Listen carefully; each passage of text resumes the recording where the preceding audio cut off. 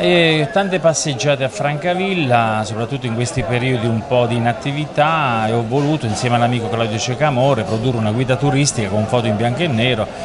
che rappresentasse un po' la nostra città bellissima con tutti i suoi monumenti, le sue passeggiate, il mare, la collina, l'archeologia, una proposta che va per la città e non solo per tutti i nostri ospiti per l'estate. Abbiamo tutto ciò che si può desiderare, abbiamo il mare, abbiamo la collina, abbiamo l'archeologia, abbiamo bellissime chiese, monumenti, palazzi, una buonissima cucina, un vino meraviglioso, i prodotti della terra, non ci manca niente.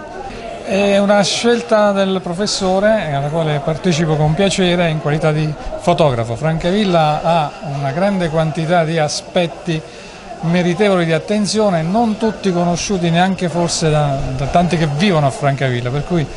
io l'ho vista come un'opportunità di collaborazione con Massimo, il professore, che è sempre una cosa gradevole e importante, e anche il modo di stimolare in quelli che avranno piacere di vedere questa, questo libro, stimolare una curiosità ad approfondire la conoscenza di Francavilla che, ripeto, non è soltanto la spiaggia, merita anche per la sua storia. Massimo si è sempre distinto eh, come uomo di punta della cultura del territorio, non solo francavillese ma direi abruzzese con le sue tante rassegne, con i suoi tanti libri che ha scritto.